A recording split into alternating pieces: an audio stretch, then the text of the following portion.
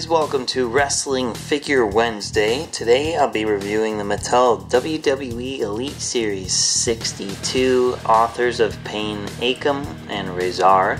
I was very, very excited to get these. I actually had BEW Animations make custom Elite to them a while back as I wasn't sure if or when uh, they'd be getting them. And uh, mine are actually pretty different from these, which is good. So it's an alternate uh, set. Uh, but these look amazing. The detail on them, the outfits, the accessories, even the title belts, which unfortunately are covered in the box there, uh, look really, really nice. But anyway, taking a look at them in the packaging, you can see they have their masks off. The titles are actually hid behind the Build a Display uh, logo, and I'm not sure why they didn't put the belts on the sides there, um, but they look awesome. There's a side of Akam's box and Rezar's box. And on the back, there's pictures of them.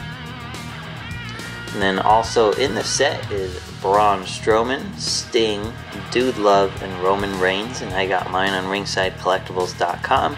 As can you, and you could save 10% with discount code MBG at checkout as well. Uh, so that being said, let's take a look at them fresh out of the packaging.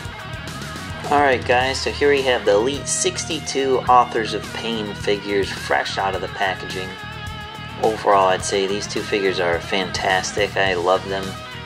The detail, the I think the fact they just have new molds, accessories, everything just really, really great. Um, these two figures are really awesome. I highly, highly recommend picking them up. Do not miss out on them, honestly.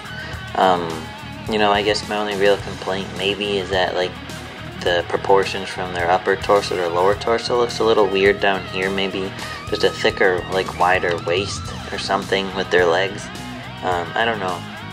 Besides that, I love them. Let me show you uh, the titles. So the new tag titles look fantastic. The detail on these are amazing. They're not dull either. So Mattel really knocked these figures out of the park, and I'm sure everybody will be after them just to have these titles.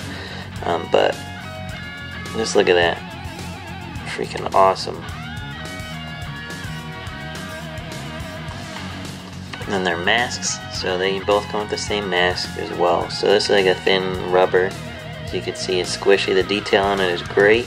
And it splits in the back there just so it's easy to put on their head. I'll uh, show you Akam first. So you just pop it on like that. And it rests on his head, no issue. Unfortunately, it is open in the back there, which they wouldn't have um, but obviously to help you get it on and off. It still looks fantastic. So easily removes. You can see the detail in his vest, which is removable. It says Akam there. Here's his new head scan. Looks pretty good, honestly. You can see the detail in his facial hair and his hair in general, even the little wrinkles on the back of his head. It says AOP on the back. And then you can see his tattoo there as well. It's interesting they painted on his elbow pad there as well. Um, but the detail in the vest is really nice. So to take it off, you just pop it open in the back there, and just slides right off like that. And there you go. I think it's a Braun Strowman upper torso. Um, but you can see more of his tattoo there. Has a typical articulation, of course, as AOP, and has the AOP logo on the back as well. So I, they do have all new leg molds. I just not really sure I like the transition from this part of the body to the legs because it looks kind of skinny. Um, but the the molds are still really nice. Of course, these are all new uh, jean molds, whatever cargo pants you'd really consider them with their crazy uh, knee pads they have molded on there. Then just the typical tall black boots, but you could pose them pretty well It says AOP on the side there too. So it's pretty much the same body, of course, for both of them, just updated appropriately for each guy. Um, but here's Rezar. I think I'm saying his name right. So his head scan looks pretty good. Gonna have to see if I can remove that little uh, paint dot right there. Um, but I'm digging the new head scans lately. They're doing a lot better with that uh, new scanning technology. But other than that, everything else is the same pretty much just pop off his vest as well so you can see real quick underneath. The vest is a thin rubber. Forgot to point that out.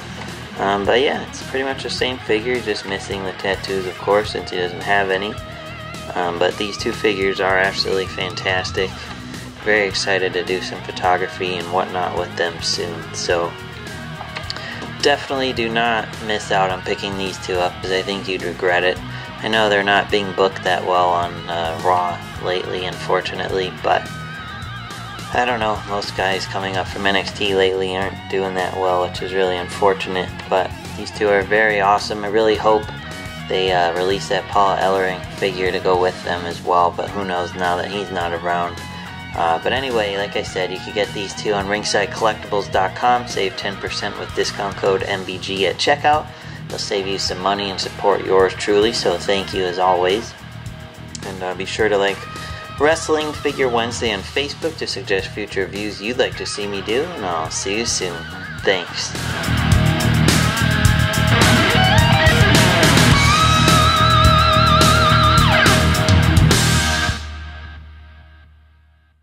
Like this video? Be sure to like, comment, and subscribe for more. And check out my latest videos. For all your wrestling figure needs, check out ringsidecollectibles.com.